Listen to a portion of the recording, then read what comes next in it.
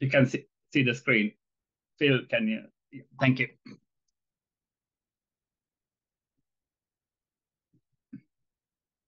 Good evening, everyone. I'd like to start with a story or a scenario. Imagine you are the CEO of a mid-sized company. One morning, you arrive at the company. Things are not the same. There were murmurs in the corners. People were looking uncomfortable. And you were wondering, what's wrong? Then your IT manager comes to you. I got something to say. Overnight, our entire networks being encrypted by ransomware. And there's a message from hackers on the screens asking to pay $2 million in Bitcoin, or your data will be wiped out. My dear friends, panic sets in. The clock is ticking. Every minute lost costs thousands of dollars. What do you do? This is not a fictional scenario. Multiple companies have encountered this situation. They were crippled. They were unsure what to do. And they've handled those situations in two different ways. There are some companies paid the ransom while others point blank refuse.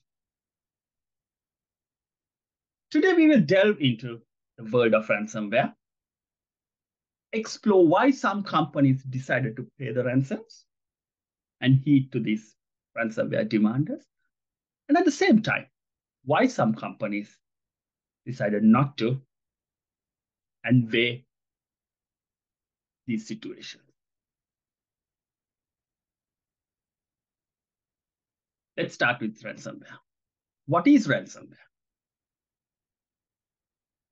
Ransomware is a type of malicious software designed to block access to a computer. It can happen with a very, with a, with a very innocent email, a phishing email coming to you. Looks legitimate. I think I know the person. You click on it. And that has the potential to lock the files in your system. Think like this somebody locks your files with a key, which is called encryption. In this scenario, key is not a physical key similar to what we have to our doors or to our car. It's a code. It can be a number or an alphanumeric set of characters, which is hard to guess. Now you have a situation where your files are locked. You cannot access and there is a demand on the table from the ransomware hacker. We got your files.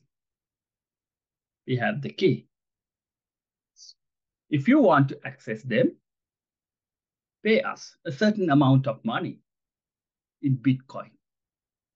You know why they use Bitcoin? Because it's very difficult to track the transaction trail in Bitcoin. If you pay the money, we give you the key and you get the data back. Hunky dory. That's the scenario. Back in the day, most of these ransomware happened for multiple computers.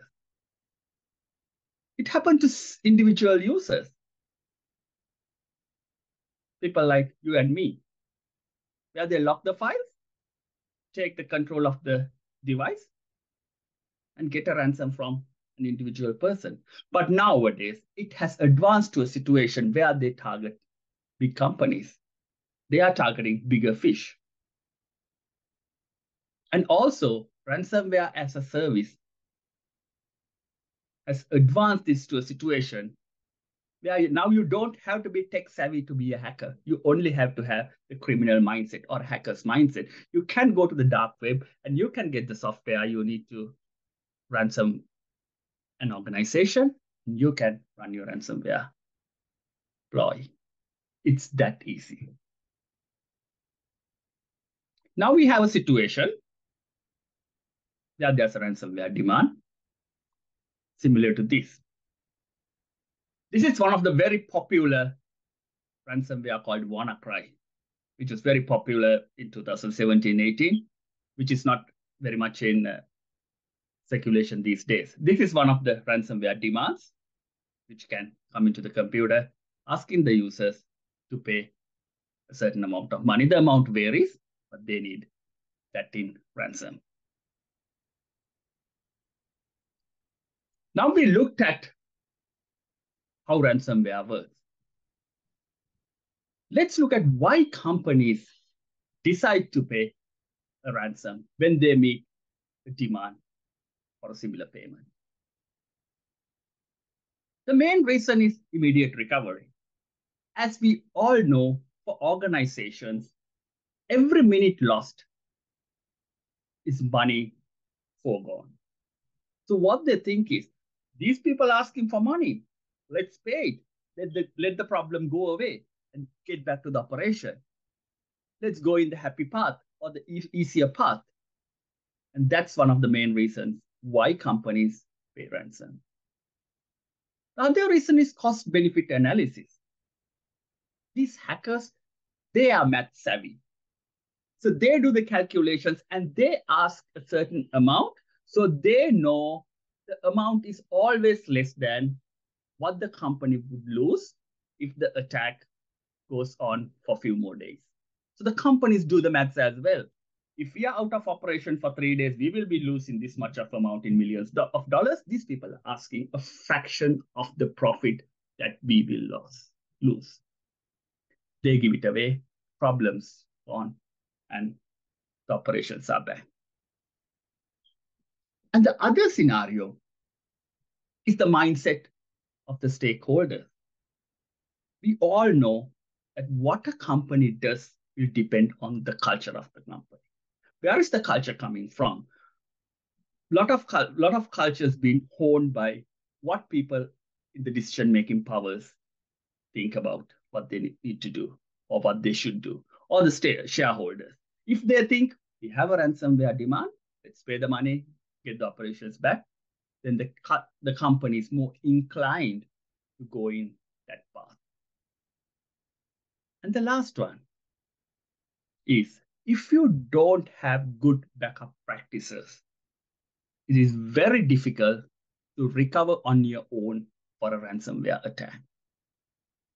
If the files are locked, or if the files are in the mercy of the ransomware attacker or the hacker, only way or one of the main ways you can get back on your feet is with the help of backups to restore the operations. But if you don't have backup, if you are a company who's been lackluster in your backup practices, you'd better off pay the ransom because you know otherwise you have no way out.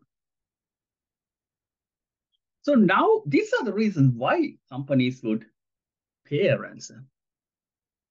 On the other hand, what's promoting not paying the ransom? My dear friends, if you know that each cent that you are paying as a ransom is being used to promote this unethical criminal syndicate, how would you feel? If you think that each cent is being used to create sophisticated ransomware and try to target main organizations, hospitals, bigger healthcare providers, how would you feel? So that's one of the main reasons why companies are going against paying ransom. And another reason is even if you pay the ransom, there's no guarantee that you would get your money back. It might be money down the drain. The hackers will get the money and they might not give you your data. So the companies are unsure how to whether to trust these people or not. On, a, on another side, what we have seen during recent years is the governments, states, and other counties, are, they are more inclined to promote not paying ransomware to the hackers because they have seen that paying the ransom is promoting this illegal activity. I think we will see more and more regulations coming in the future, which will make paying ransom, which is similar to paying a terrorist organization or a criminal organization, more prohibitive. And the last point that companies would discourage themselves from paying is the reputational damage. If you pay a ransom, your customers or your main stakeholders, they all know that you did not have robust security practices. That's why you've been breached. That's why you let a ransomware attacker lock your systems. And that will dilute the trust or the reputation that you have with the customers. So my dear friends, now we looked at both the sides, pay or not pay. Let's look at some of the major ransomware attacks happened during the last decade. Colonial Pipeline in 2021. The largest fuel pipeline in the US transporting gasoline, diesel, and jet fuel to the East Coast. Attackers encrypted the IT infrastructure or information technology infrastructure supporting the physical pipelines and demanded ransom to be paid in cryptocurrency. This crippled the whole transportation of fuel to the East Coast. Imagine in an era where everything depends on how, how well you can get your fuel supply, not having the continuous fuel supply for six days. That's a time period. This impacted the supply to East Coast. Colonial Pipeline had to shut down most of the unaffected pipelines to reduce the impact or the reduce, reduce the propagation of the ransomware. And even what, what was left in those areas, what was left in the demand and supply kicked in, the prices were skyrocketed.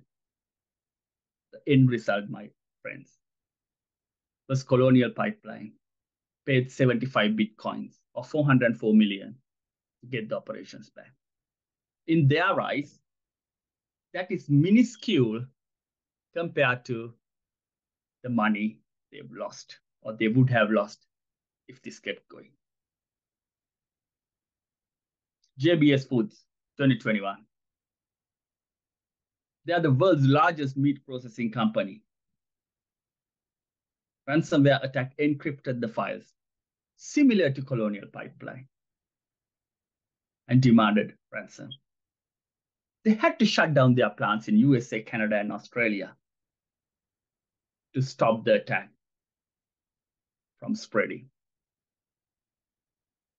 This caused major meat shortages in these countries.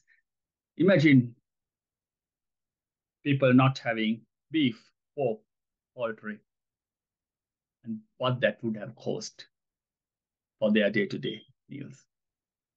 And again, similar to Colonial Pipeline, whatever meat was left in the shops, the prices sky, skyrocketed.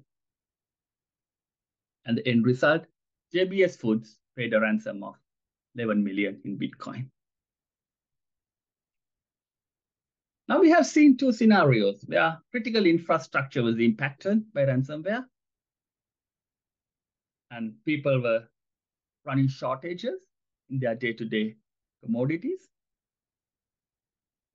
and the companies heeded to the ransomware demands. The next attack was unprecedented. It was on NHS system in 2017. NHS is National, National Hospital Services in England. For this ransomware attack, they used WannaCry. Remember the WannaCry demand screen that I shared at the, at the start? That's the ransomware they used in this instance. That impacted multiple systems across 80 healthcare institutions out of the 236 across England. The demand was 300 to $600 per per device encrypted. It caused massive cancellations, thousands of appointments, delayed treatments, and also forced some emergency departments to divert patients to other facilities. And NHS had to shut down some key systems to prevent the ransomware from spreading. Needless to say, the massive healthcare delays this has caused and the impact to the patient. But in this situation, or in this scenario, NHS decided to handle it differently. They decided we are, we're not going to get budged by the ransomware demands. We're not going to pay the ransom. But the recovery path was very difficult and long-winded. It cost 92 million pounds to recover their systems. But as a principle, they refused to pay the ransom. Now we have looked at different ransomware attack scenarios. The ransomware paid, and where some companies, organizations decided not to pay.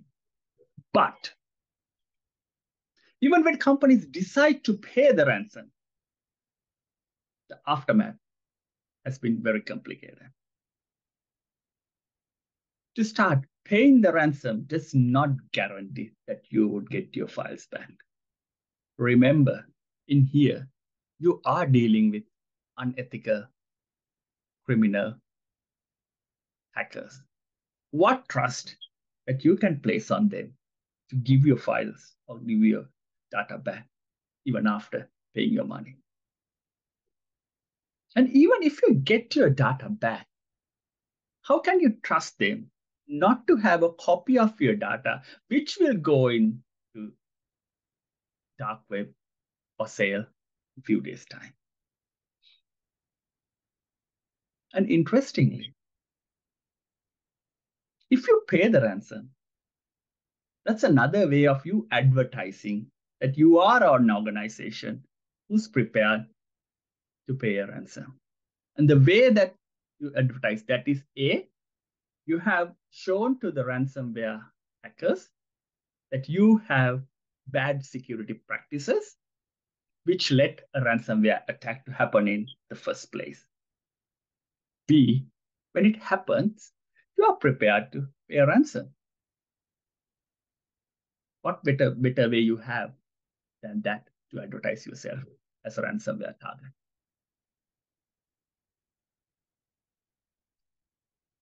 Now we spoke about why companies should promote not paying ransomware. So what's the secret sauce? My dear friends, prevention and preparedness is crucial here. Have regular backups and also store your backups offline. We all know that if your backups are connected to your main system, when the main system or the main computer is locked or encrypted, the backups will get encrypted too. So take it off, store offline, store in another place. Again, take another backup, store in another place. Because if you run into a situation where you are under ransomware attack, you need your backups to get back on your feet. The other one is have robust security measures. Monitor and detect abnormal activities in your systems and respond in a timely manner. And also, we all know the weakest link in cybersecurity. That's me and you, people. Not technology, not processes. So invest in training people increase the awareness. Let them know what to look out for, what not to click and what to click. And also, if you think that you have done something that you should not have done in terms of security practices, who to inform and what to do. Lastly, incident response. Have a plan. What you have, what you're going to do if an attack happens. During a ransomware attack, what your action plan is. Create a plan because during a ransomware attack, panic sets in. It's very difficult for you to take rational decisions. As John F. Kennedy has famously said, best time to repair your roof is when the sun is shining. Hence, incident plan should be prepared well in advance when things are under control. So my dear friends, now we looked at both the scenarios. Initially, we looked at what ransomware is. Then we looked at why some companies pay ransom when they are confronted with ransomware demand, and why some companies decided not to. And we also looked at what practices will help you to protect against this sort of attack. When I weigh up both the options of paying a ransom and not paying a ransom, thinking myself as an individual in the community and looking at the long-term betterment of the human society, I prefer to stand and support against heeding to ransomware demands. My dear friends, where would you stand? Thank you. Thank you, to, thank you, Asanga, for that